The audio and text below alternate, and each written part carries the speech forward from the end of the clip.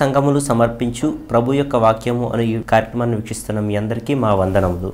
ఇప్పుడు సహోదరులు కరుణాకర్ గారు మనకు వాక్యాన్ని ప్రకటిస్తారు. మహాగణుడు మహోన్నతుడు సర్వశక్తి సంపన్నుడైనటువంటి దేవాది దేవునికి మన ప్రభువును రక్షకుడు యేసుక్రీస్తు ద్వారా నా యొక్క కృతజ్ఞతాస్థుతులు సమర్పిస్తూ ప్రత్యేకంగా ఈ సమయంలో దేవుని యొక్క వాక్యాన్ని ధ్యానించేదానికి సిద్ధపడినటువంటి ప్రియ సహోదరి సహోదరులందరూ కూడా మరి స్థానిక సంఘములైనటువంటి దోళవానిగూడు మహేశ్వరపురం బేతవోళ్ళు కంచడంలో ఉన్నటువంటి ప్రభు సంఘాలను బట్టి మీ అందరికీ మా హృదయపూర్వకమైనట్టు మనం నాకు ఉన్నాను.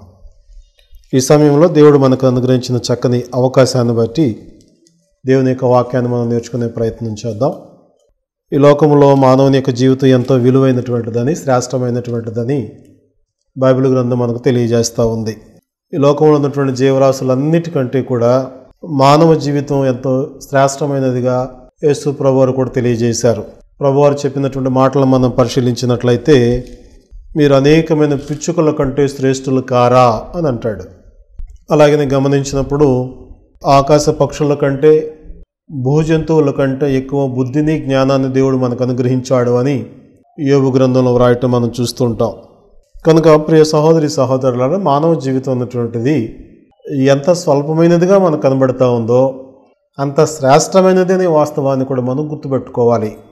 ఈ శ్రేష్టమైనటువంటి జీవితాన్ని ఈ లోకంలో ఏమీ తెలియనప్పుడు బాగానే కాపాడుకుంటున్నాం కానీ మన యొక్క దృష్టి ఆలోచన ఈ లోకం మీదకి మళ్ళిన తర్వాత లోకం మీద మన ఆశలు పెరుగుతున్న తర్వాత దీనిని మలినం చేసుకొని జీవితం యొక్క ప్రయాణాన్ని గమ్యాన్ని అస్తవ్యస్తం చేసుకుంటున్నాం అనేటువంటిది మీకు జ్ఞాపకం చేయదలుచుకున్నాను.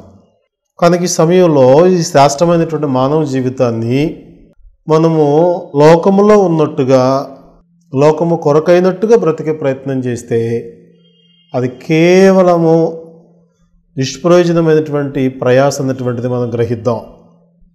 ఎందుకంటే బైబిల్ గ్రంథంలో ఒక ప్రత్యేకమైన రెండు పదాలను మీకు జ్ఞాపకం చేస్తూ ఉన్నాను. లోకమునందు అనేటువంటి ఒక పదాన్ని మనం చూస్తుంటాం. అలాగనే క్రీస్తు యేసునందు అనేటువంటి పదాన్ని మనం చూస్తూ ఉంటాం. ఇక్కడ లోకమునందు అనేటువంటి పదాన్ని మనం గమనిస్తే అలాగనే క్రీస్తు యేసునందు అనేటువంటి పదాన్ని కూడా మనం గమనిస్తే ఈ రెండింటి మధ్య ఉన్నటువంటి వ్యత్యాసం ఏంటి? దేనిలో ఉన్నటువంటి స్థితి ఏంటి అనేటువంటిది మనం సవివరంగా తెలుసుకుందానికి అవకాశం ఉంది. కనుకన ఈ సమయంలో మొదటిగా మనం లోకమునందు అనేటువంటి మాటను నేర్చుకునే ప్రయత్నం చేద్దాం. ఈ లోకములో ఏముంది?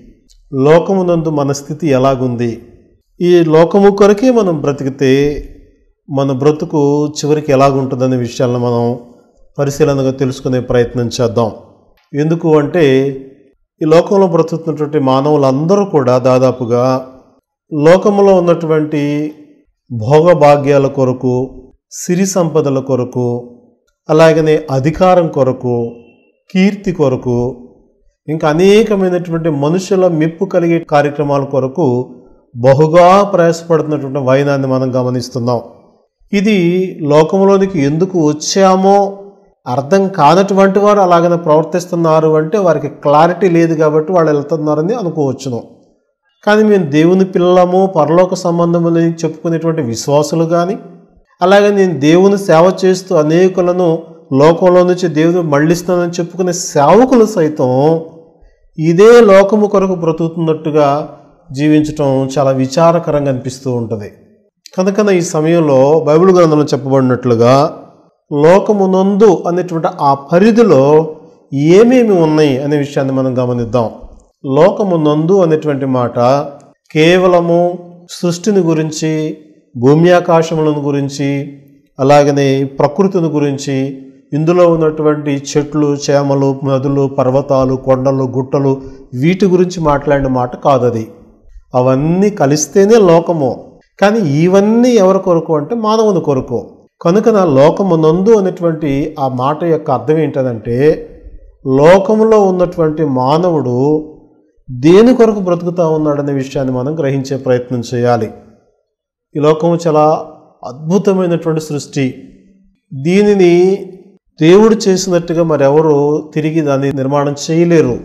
దానికి ప్రతిరూపాన్ని చూపించవచ్చును కానీ దేవుడు ఏ గుణాలతో అయితే ఏ లక్షణాలతో అయితే కలుగు చేశాడో అదే విధానాన్ని ఎవరు కలుగు చేయలేరు. ఉదాహరణకి మనం గమనిస్తూ ఉంటాం. మనం రాత్రి సమయంలో ఆకాశం వైపు చూసినప్పుడు వెన్నెల కాసే సమయంలో చంద్రుడు కనబడతాడు. అలాగనే ప్రతిదినం నక్షత్రాలు కనిపిస్తూ ఉంటాయి. అది చాలా ఆహ్లాదకరంగా అందంగా అద్భుతంగా అనిపిస్తుంది. దానికి ప్రతిరూపంగా మానవుడు కూడా ప్రతివారు తమ ఇళ్ళల్లో సూర్యచంద్ర నక్షత్రాలను రెడీమేడ్గా తయారు చేసి పెట్టుకోగలుగుతున్నారు. అనుకుంటున్నాం కానీ మనము ప్రకృతిలో చూసినటువంటి చంద్రుడిని కానీ ఆ నక్షత్రాలను కానీ అవి ఏ విధంగా పనిచేస్తూ ఉన్నాయో ఈ అన్నీ కూడా యాసిటీస్గా అలాగనే చేయగలడా మానవుడు? అలాగనే దేహానికి సంబంధించిన అవయవాలను తయారు చేస్తాం కృత్రిమ అవయవాలను తయారు చేస్తూ ఉన్నాడు. కానీ దేవుడిచ్చిన సహజ సిద్ధమైనటువంటి ఈ దేహానికి ఉన్న గుణము తయారు చేయబడిన దానికి ఉంటుందా అని అంటే ఎప్పటికీ ఉండదు రాదు కూడాను. అలాగనే ఈ లోకం ఎంతో అద్భుతమైనటువంటిదే కానీ కేవలం లోకాన్ని ప్రేమిస్తూ లోకంలో బ్రతికితే చాలా ప్రమాదంలో ఉన్నామనే విషయాన్ని గ్రహించాలి. కనుక మనం కొన్ని వాక్యభాగాలను మనం పరిశీలించే ప్రయత్నం చేద్దాం. యోహాన్ రాసినటువంటి మొదటి పత్రిక ఐదవ అధ్యాయము పంతొమ్మిదవ వచ్చిన మనం చదువుదాము. మనము దేవుని సంబంధులమనియు లోకమంతయు దుష్టుని ఎందున్నదనియు ఎరుగుదము అని అంటాడు. ఇది క్రైస్తవులతో మాట్లాడుతున్నటువంటి మాట. క్రైస్తవులు దేవుని సంబంధులుగా ఉన్నారనే విషయాన్ని తెలియచేస్తూ లోకమంతయు దుష్టుని ఎందున్నది అన్నాడు. ఇక్కడ లోకమంతయు అనంటే ఇంతకుముందు మనం చెప్పుకున్నట్లుగా ఈ సృష్టిలో ఉన్నటువంటి వస్తువులను గురించి ఇతర జీవరాశుల ప్రాణుల గురించి మాట్లాడటం లేదు. లోకమంతయు అన్నదంటే లోకములో ఉన్న మనుషులను ఉద్దేశించి మాట్లాడతా. ఈ మనుషులందరూ కూడా దుష్టుని ఎందున్నారు అనే విషయాన్ని ప్రస్తావిస్తా ఉన్నాడు. గమనించండి. అంటే ఎలాగున్నారు దుష్టుని ఎందు? వాస్తవానికి లోకాన్ని కలుగజేసిన దేవుడే కదా. ఈ సర్వసృష్టిని నిర్మాణం చేసింది జీవముగల దేవుడు కదా. దానిలో మానవుడిని ఏర్పాటు చేసినటువంటి వాడు సృజించిన వాడు దేవుడు కదా. మరి దుష్టుని ఎందు ఎలా ఉన్నది అని మనం గమనించినట్లయితే ఆది మానవుడైనటువంటి ఆదాము తనకు ఇవ్వనటువంటి సర్వ హక్కులన్నిటినీ కూడా తను మొదటిగా పాపం చేసిన సందర్భంలో అన్నింటినీ కోల్పోయాడు. ఇక్కడ దేవుడిచ్చిన అధికారాన్ని కోల్పోయాడు అంటే అర్థం ఏంటంటే మరొక అధికారం క్రిందకు అతడు వెళ్ళిపోయాడు. అందుకని మనం గమనిస్తే దేవుడు వద్దన్న పండు ఎప్పుడైతే ఆదాము వాళ్ళు తిన్నారో దేవుని యొక్క అధికారం క్రింద నుంచి వారు సాతాని యొక్క అధికారం క్రిందకు వెళ్ళిపోయారు.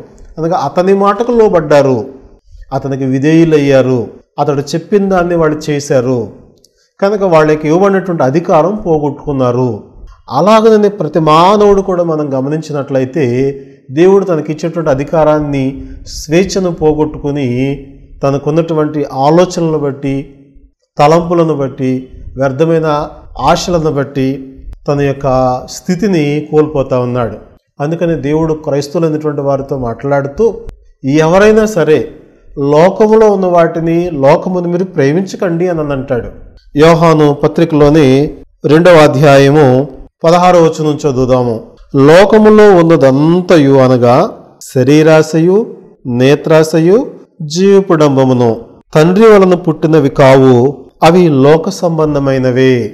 గమనించండి లోకమంతానేమో దుష్టుని ఎందున్నది? లోకములో ఉన్నదేంటి అనంటే శరీరాశ నేత్రాశ జీవపుడంబం. ఇది మొదటి కుటుంబమైనటువంటి ఆదాము కుటుంబంలో మనం గమనిస్తాం. ఒకటి శరీరాశ. అనగా తన శరీరానికి కావాల్సిన సహజమైనటువంటి ఆశలను మించి వాళ్ళ దురాశను కోరుకున్నారు. అలాగనే నేత్రాశ తమ కంటిని చూడటానికి ఇచ్చాడు కానీ అలాగనే దురాశతో దుర్బుద్ధితో చూసేదానికి ఇవ్వలేదు. కనుకన ఇది చెడు అని చెప్పిన తర్వాత కూడా ఆ చెడ్డది కూడా వాళ్ళకి ఎలా కనపడింది అంటే రమ్యమైనదియో వివేకము కలిగినదిలాగా ఆహారానికి మంచిదిలాగా కనిపించింది వాళ్ళకి. వాస్తవానికి దేవుడు దాన్ని చూపించి ఈ వృక్ష ఫలాలు మీరు తిన్నప్పుడు చచ్చిపోతారు అన్నాడు. అలాగనే ఆహారానికి మరొకటి ఉంది. దీన్ని మీరు తినొచ్చు నిరభ్యంతరంగా తినొచ్చును అన్నాడు. కానీ దేవుడు ఆజ్ఞాపించింది కాకుండా మరొకటి వాళ్ళ కన్నులకు ఇంపుగా కనపడింది. అనగా నేత్రాశ వారిలో బయలుదేరింది. అంటే తమది కాని కూడా ఆశించేటువంటి ఆశ అన్నమాట నేత్రాశ. మూడోది జీవపుడంబం. ఈ జీవపుడంబం అనంటే వారిని దేవుడు మానవులుగా సృజించాడు. వారికి ఒక స్థితిని కలుగజేశాడు. ఆయన చక్కని అనుబంధాన్ని వాళ్ళతో కలిగి ఉన్నాడు. వాళ్ళతో ప్రతిదినము సహవాసం చేస్తూ ఉన్నాడు. ఇంతగా దేవుడు వారిని ప్రేమించి ఆయన ఘనపరుస్తూ ఉంటే వాళ్ళు ఇంకా ఏమని ఆలోచించారు అంటే మా కన్నులు తెరవబడతవి మేము దేవదూతల్లాగా ఉంటాము ఆ లైఫ్ ఎలా ఉంటుందో ఆ జీవితం ఎలా ఉంటుందో. కనుక దాన్ని ఇంకా దీనికంటే ఇంకా ఉన్నతంగా మేము ఉండాలనేటువంటి అత్యాశతో కూడినటువంటి డంబం వాళ్ళలో ప్రవేశించింది. కనుక దేవుడు తెలియజేస్తున్న మాట ఏంటంటే లోకమంతా దుష్టుని అందున్నది ఇంతకీ లోకంలో ఏముంది అనంటే శరీరాశ నేత్రాశ జీవపుడంబం. ఇవి తండ్రి వలన పుట్టినవి కావు అనేటువంటి వాస్తవాన్ని మనం గ్రహిద్దాం. కనుక ఈ లోకంలో ఎవరైనా బ్రతుకుతున్నప్పుడు లోకము కొరకే బ్రతికేవారిగా. అనగా ఈ లోకంలో శరీరాశ నేత్రాశ జీవపుడంబం కొరకు బ్రతికేవారిగా. అనగా కొంతమందిని మనం సవివరంగా ఆలోచన చేసినట్లయితే కేవలము తినటం కోసమే బ్రతుకుతూ ఉంటారు కొంతమంది.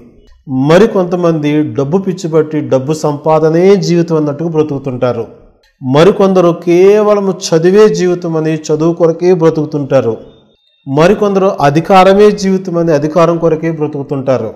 మరికొందరు నా భార్య పిల్ల నా కుటుంబమే సర్వస్వం ఇదే నా జీవితం బ్రతుకుతుంటారు.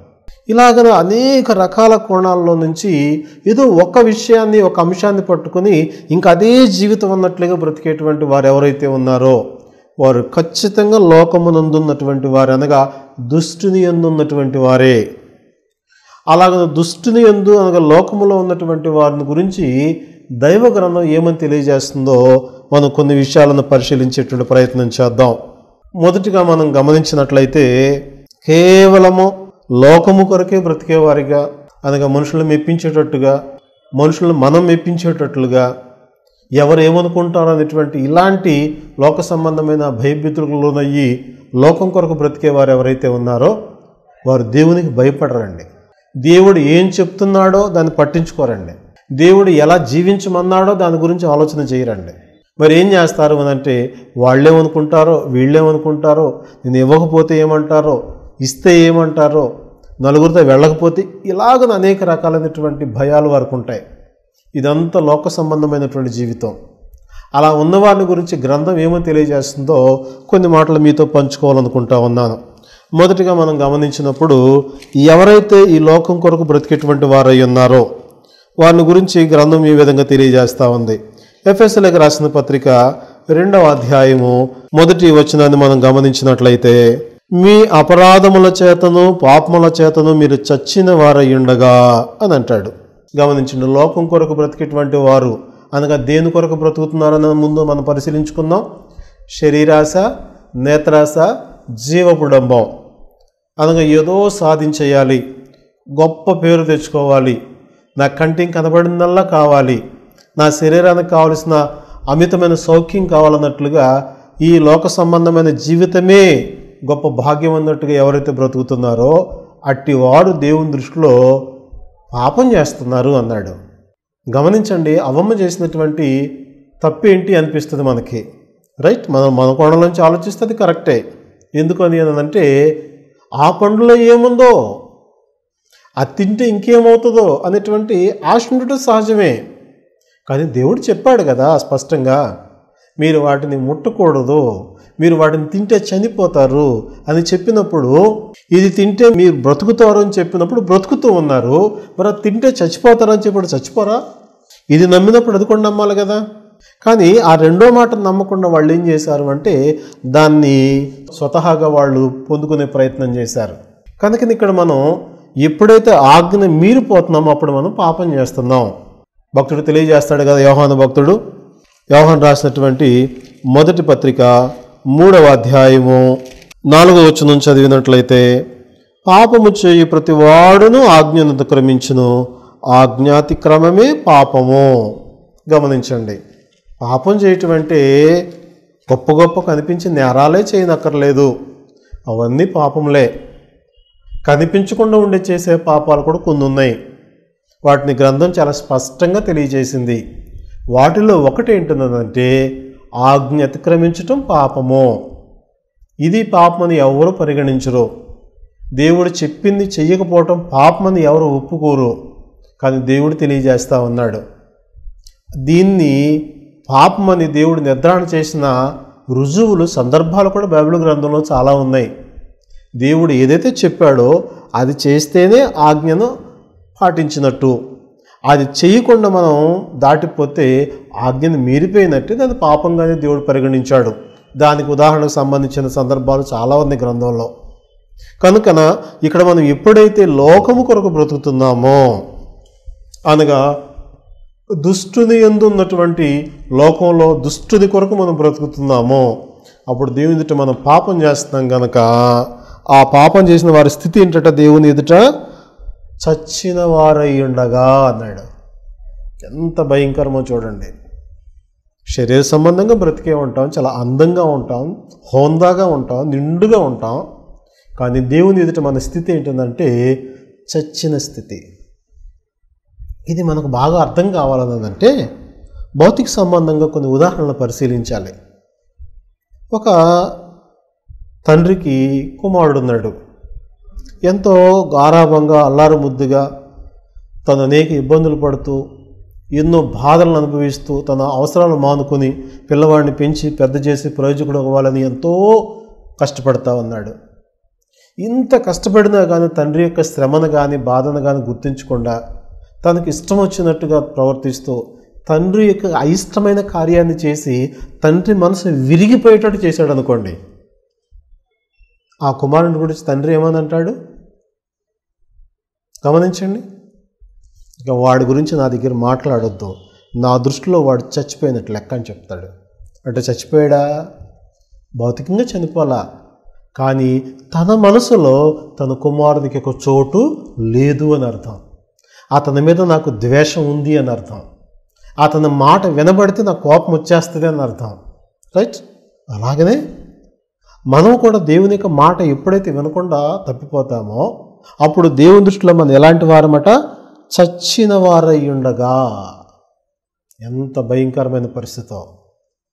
అనగా బతుకుంటాం కానీ మనుషులందరూ మెచ్చుకుంటారు కానీ దేవుడు మాత్రం మనల్ని చచ్చినోడితో సమానంగా చూస్తూ ఉంటాడు. ఎప్పుడైతే ఈ స్థితి మనకి ఏర్పడుతుందో గమనించండి. మనం దేవుని ఎదుట ఎలాగుంటామంటే అప్పుడు చూడండి ఇక్కడ ఏఫెస్లకు రాసిన పత్రిక రెండవ అధ్యాయము పన్నెండవ వాక్యం మనం గమనిస్తే ఆ కాలమందు ఇస్రాయేలుతో సహపౌరులు కాక పరదేశులను వాగ్దాన నిబంధన లేని పరజనులను నిరీక్షణ లేని వారును లోకమందు దేవుడు లేని వారునయ్యుండి క్రీస్తుకు దూరస్తులయ్యుంటురని మీరు జ్ఞాపకము చేసుకునడి. గమనించారా? ఎప్పుడైతే మనం పాపముల చేత అపరాధముల చేత చచ్చని స్థితిలో ఉన్నామో దేవుని ఎదుట అప్పుడు మన పొజిషన్ ఏంటి అన్నదంటే మనము పరదేశులము అనగా దేవునికి దూరస్తులము పరజనులు అని అన్నాడు నిరీక్షణ లేని వారు అన్నాడు. ఇంకొక భయంకరమైన మాట ఏంటంటే దేవునికి దూరస్తులు అన్నాడు. దూరస్తులు అంటే సంబంధం లేనటువంటి వాళ్ళు ఈ జాతి కానటువంటి వాళ్ళు ఈ కుటుంబానికి సంబంధం లేనటువంటి వాళ్ళు వీళ్ళతో కలవటానికి వీల్లేనటువంటి వారు అని అర్థం. గమనించండి. కనుక మనం లోకమందు ఉంటే దేవుని చచ్చిన స్థితిలో ఉంటాం. రెండవది దేవునికి దూరస్తులుగా ఉంటాం. అందుకనే ఎవరైతే లోకాన్ని ప్రేమిస్తూ ఉన్నారో వారి గురించి యాకోబు తెలియజేసిన మాటను ఒకసారి పరిశీలన చేద్దాం. యాకోబు రాసినటువంటి పత్రిక నాలుగవ అధ్యాయము నాలుగవ వచనాన్ని మనం చదువుదాం.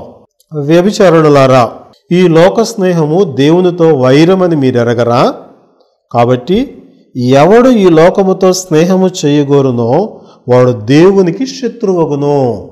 గమనించండి. లోకముతో అంటే అర్థం ఏంటి? శరీరాశ నేత్రాశ జీవపుడంబం. ఇవి తండ్రి వల్ల పుట్టినవి కావు. అనగా ఎక్కడి నుంచి వచ్చినాయి మరి ఇవి? అపవాది నుంచి. అందుకని యోహానేమని తెలియజేశాడు లోకమంతయు దుష్టుని ఎందున్నది? కనుక ఎవరైనా లోకాన్ని ప్రేమించేటువంటి వారిగా ఉంటే దుష్టుని ప్రేమించేవారిగా ఉన్నారు.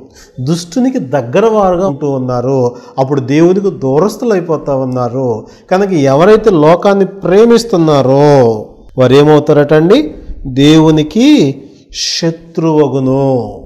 ఎంత భయంకరమో గమనించండి. ఈ లోకంలో కూడా మనకు శత్రువులు ఉంటారు.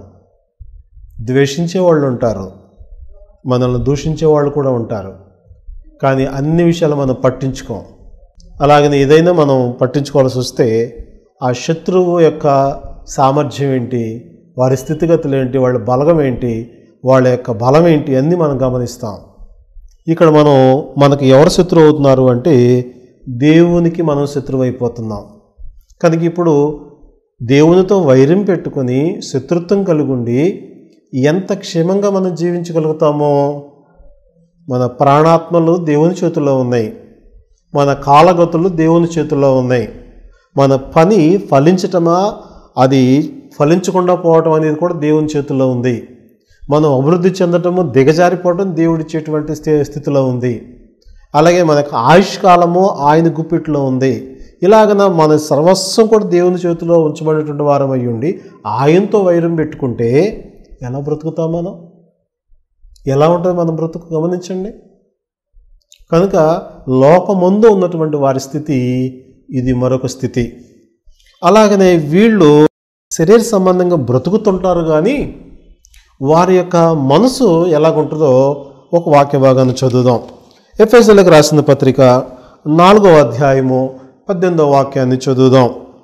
వారైతే అంధకారమైన మనస్సు గలవారై తమ హృదయ కాఠిన్యము వలన తమలోనున్న అజ్ఞానము చేత దేవుని వలన కలుగు జీవములో నుండి వేరుపరచబడిన వారై తమ మనస్సునకు కలిగిన వ్యర్థత అనుసరించి నడుచుకొనుచున్నారు. ఇక్కడ ఎవరిని గురించి మాట్లాడబడతా ఉంది అని అంటే దేవునికి దూరంగా ఉన్నటువంటి వారిని గురించి అనగా అన్యజనులు అనబడుతున్న వారిని గురించి మాట్లాడుతూ అనగా చచ్చినటువంటి స్థితిలో ఉండి దేవునికి దూరస్తులుగా ఉన్న వారు ఎవరైతే ఉన్నారో అలాగనే దేవునికి శత్రులు ఎవరైతే బ్రతుకుతున్నారో వారు మనస్సట అంధకారమైన మనస్సటండి. అనగా అంధకారం అంటే చీకటి అని అక్షరార్థం మనకు తెలుసును. అంటే దాని అర్థం ఏమిటి? అంధకారమైన మనస్సు అంటే అంటే వారి మనసుకు ఒక క్లారిటీ అనేటువంటిది లేదు. ఒక స్పష్టత అనేటువంటిది లేదు. వాళ్ళు ఏం మాట్లాడుతారో వాళ్ళకి తెలియదు ఏం చేయాలనుకున్నారో ఒక అర్థవంతమైన అవగాహన లేదు. ఎక్కడికి వెళ్ళాలనుకున్నారో ఏమి సాధించాలనుకుంటారో ఏమీ ఉండదు. ఏదో బ్రతికేస్తూ ఉంటారు ఏదో చేసేస్తూ ఉంటారు ఇరగబడిపోతూ ఉంటారు ఏదోదో ప్రైస్ పడుతూ ఉంటారు నిద్రపోకుండా రేయింబోగులు కష్టపడుతూ ఉంటారు. కానీ ఏమి ఒక క్లారిటీ అనేటువంటి వాళ్ళ మనసుకి కారణం ఏంటంటే అంధకారం మనసు గలవారై. తమ హృదయ కాఠిన్యము వలన తమ మనసునకు కలిగిన వ్యర్థత అనుసరించి నడుచుకుంటారట. ఏమంటే శత్రువుగా ఉన్నటువంటి వాడికి ఎప్పుడు కోపం ఉంటుంది. ఆ కోపంలో మంచి ఆలోచనలు ఎలా వస్తాయి? గమనించండి. ఆవేశపూరితమైన ఆలోచనలు వస్తాయి. ఆవేశపూరితమైన ఆలోచనలు మన ఇంకనూ నష్టంలో ముంచుతాయి తప్ప మనల్ని ఎలాగన క్షేమంగా నడిపిస్తూ ఉంటాయి. కాబట్టి లోకము నందు ఉన్న వారికి మరొక స్థితి ఏంటంటే వారి యొక్క మనసు అంధకారమైనదై వ్యర్థమైన వాటిని వెంబడించేదిగా ఉంటుంది. జాగ్రత్తగా గమనించండి. తర్వాత విషయాన్ని మనం జ్ఞాపకం చేసుకుందాం. వీరి యొక్క మనసులో పుట్టినటువంటి కోరికలు ఎలాగ ఉంటాయి అనంటే ఎఫ్ఎస్లకు రాసిన పత్రికలోని నాలుగవ అధ్యాయము ఇరవై రెండవ వచనం చదువుదాము. కావున మునుపటి ప్రవర్తన విషయంలోనైతే మోసకరమైన దురాశ వలన చెడిపోవు మీ ప్రాచీన స్వభావమును అంటాడు. గమనించండి. మనం లోకము నందు ఉన్నట్లయితే మన స్వభావము మన బుద్ధి ఎలా ఉంటుందట? చెడిపోయినటువంటిది. ఎందువలన బుద్ధి చెడిపోయింది అంటే దురాశల వలన చెడిపోయింది. ముందే మనం అనుకుందాం తినడానికి ఆహారాన్ని ఇచ్చాడు ఆయన పని చేసుకోవడానికి పని ఇచ్చాడు ఉండటానికి స్థలం ఇచ్చాడు కానీ వీళ్ళేమనుకున్నారు అవాదంలో దేవుడిచ్చిన ఆహారం కంటే వద్దు అన్న ఆహారం ఇంకెంత బాగుంటుందో? దీనికంటే ఇంకెంత గొప్పవాళ్ళం అయిపోతామో ఈ బ్రతుకంటే ఇంకా ఎంత ఉన్నతమైన స్థితికి వెళ్ళిపోతాం అనేటువంటిది దురాశలు బయలుదేరాయి. ఈనాడు నేడు క్రైస్తవుల జీవితాల్లోనూ దేవుని పిల్లమనుకునే అనుకునే వారి జీవితంలోనూ లోకంలో అందరి బ్రతుకులు అలాగనే ఉన్నాయి. దేవుడిచ్చిన స్థితి కాకుండా ఇంకా ఏదో కావాలి ఇంకా ఏదో కావాలి ఇంకేదో కావాలి. గమనించండి ఇదంతా చెడిపోయినటువంటి స్థితి. అది దురాశల వలన మన యొక్క మనసు మలినమైపోతూ ఉంది. సహజంగా ఆలోచన కోరికలు కూడా తప్పేమీ కాదు. కానీ మీరు గమ ఆజ్ఞల విషయంలో కూడా గమనించండి. ఆకలి తీర్చుకోవాలి. అది ఆకలి వేస్తుంది అన్నం తినాలి నేను మంచి ఆహారం తీసుకోవాలంటే తప్పేం కాదు. కానీ దాన్ని సక్రమంగా తీసుకుంటే అది యోగ్యమైనటువంటి పని అవుతుంది. దాని కొరకు మనం దొంగతనం చేస్తే దోచుకుంటే లాక్కుంటే ఎదుటివారికి లేకుండా చేసి మనం దాన్ని పొందుకుంటే ఇవన్నీ వక్ర మార్గాలు అవుతాయి. ఇలాగన ప్రతి వాని జీవితంలో దేవుడు కొన్ని నియమాలను పెట్టాడు. ఈ నియమాలను ఎప్పుడైతే మనం మీరిపోతున్నామో అప్పుడు ఖచ్చితంగా మన యొక్క స్వభావం చెడిపోతుంది. మన ఆలోచనలు దురాలోచనలు అయిపోతూ ఉన్నాయి. ఇది లోకము నందు ఉన్నటువంటి వారికి ఉండేటువంటి పరిస్థితి. అలాగే వీరందరిని ఎవరు నడిపిస్తూ ఉంటారు అని మనం గమనించినట్లయితే ఎవరు నడిపిస్తారు అన్నదంటే వాయుమండల సంబంధమైన అధిపతి అంటాడండి.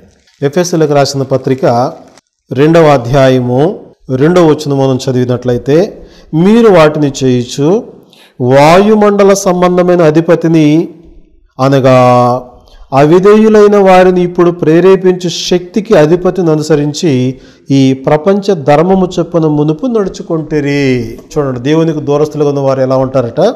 తమకంటూ ఒక ఆలోచన ఉండదు ఎందుకంటే వారి మనసు అంధకారం అయిపోయింది అలాగే తనకంటూ క్లారిటీ ఉండదు. ఎందుకంటే వాళ్ళు వ్యర్థమైన వాటిని వెంబడిస్తూ ఉన్నారు.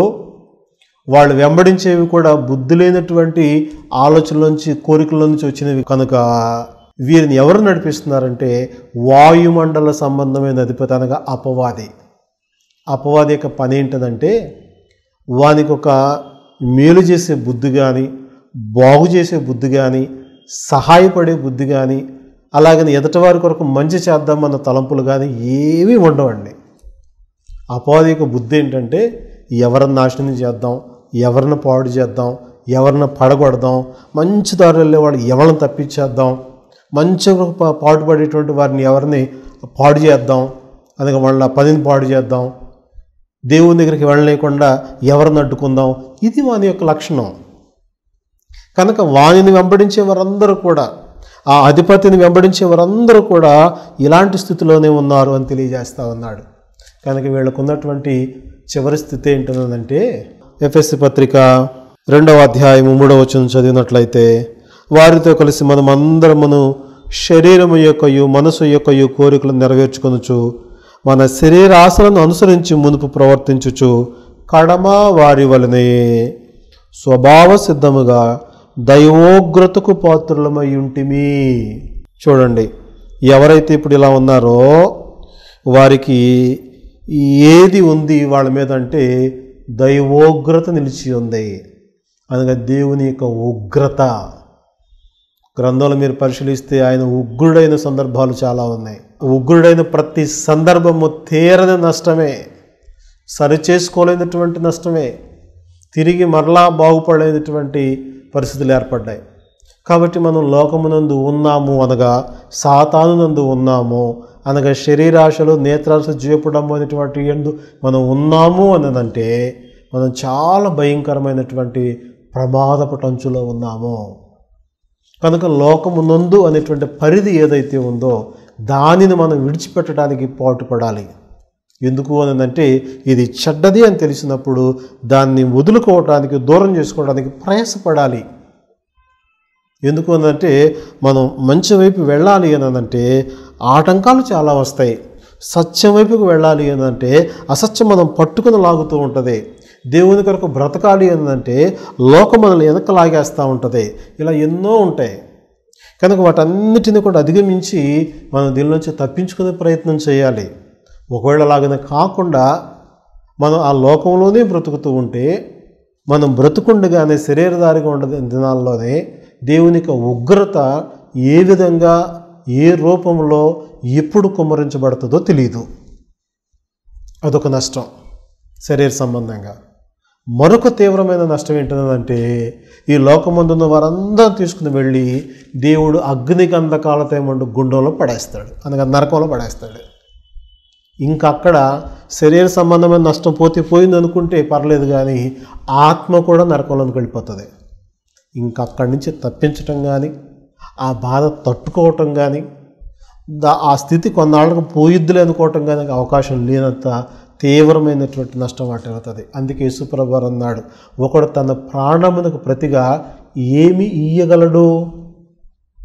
తన ప్రాణము చాలా విలువైనటువంటిది. అది అగ్నిగుండానికి నరకానికి వెళ్ళేదానికి కదా నియమించింది. అది పరలోకానికి వెళ్ళాలి. శాశ్వత కాలం దేవునితో జీవించాలన్న గొప్ప ఆశీర్వాద స్థితులు తీస్తే దాన్ని తీసుకుని వెళ్ళి మనమే చేతులను నరకంలో పడేసుకుంటే దానికి ప్రతిగా మనం ఏం సంపాదిస్తాం?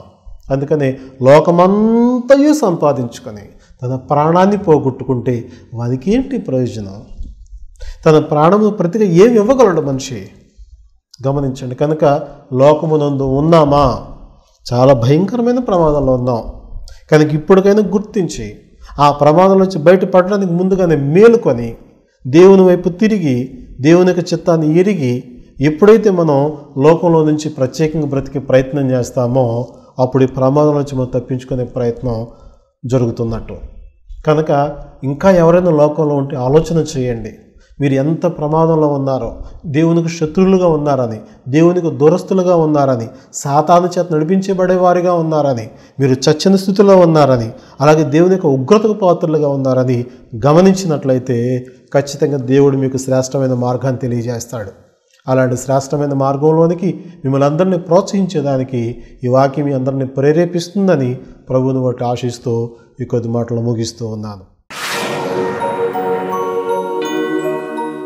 మమ్మల్ని మిక్కిలిగా ప్రేమించింది మా తండ్రి. మీ శ్రేష్టమైన నామనకు కృతజ్ఞతలు స్థుతులు స్తోత్రాలు సమర్పిస్తూ ఉన్నాం. ఆయన ఈ సమయంలో మీరు ఇచ్చిన చక్కని పరలోక సంబంధమైన మాటలను బట్టి స్థుతిస్తూ ఉన్నాం. ఈ లోకంలో ఉంటూ ఇదే సర్వస్వమని భ్రమిస్తూ దీన్ని విడిచి వెళ్ళాలని తెలిసినప్పటికీ కూడా దీని కొరకే మేము బ్రతికేవారిగా ఉన్నాము అంటే ఎంత భయంకరమైన ప్రమాదంలో ఉందో మీ వాక్యం తెలియజేసింది. కనుక ఇంకా ఎవరైతే ఆ స్థితిలో ఉన్నారో అటు వారందరూ మేలుకొని తమ యొక్క స్థితిని మెరుగుపరుచుకునేందుకు మీ వైపు తిరగటానికి ఈ వాక్యం ద్వారా తమ మనసులను మార్చుకొని శ్రేష్టమైనటువంటి మార్గాన్ని ఎంచుకోవడానికి మీ సహాయం దయచేసి ప్రతి ఒక్కరి జీవితంలో ఇది ఫలించినట్లుగా ఆశీర్వదిస్తారని ఈ మనోళ్ళని మా ప్రభ యేసుక్రీస్తు వారి పేరట వచ్చినావు తండ్రి. ఆమె మీ అందరికీ వందనాలండి ఇప్పటివరకు వాక్యాన్ని అందించిన సోదరులకి వందనాలు తెలియజేస్తా ఉన్నాం. మీ అభిప్రాయాలు మీ ప్రార్థన అవసరాలు మాతో పంచుకోండి. మా అడ్రస్ క్రీస్తు సంఘములు సమర్పించు ప్రభువు వాక్యము. సహోదరులు M Karunakar garu Pedapeta Betavolu Gudivada. Pin number ఐదు రెండు ఒకటి మూడు సున్నా ఒకటి. మా ఫోన్ నెంబర్ తొమ్మిది మూడు తొమ్మిది ఆరు ఎనిమిది సున్నా నాలుగు సున్నా నాలుగు రెండు. లేని దేవుడు సత్యమైన దేవుడు సాటి లేని దేవుడు సర్వశక్తి గల సర్వోన్నతుడు యెహోవా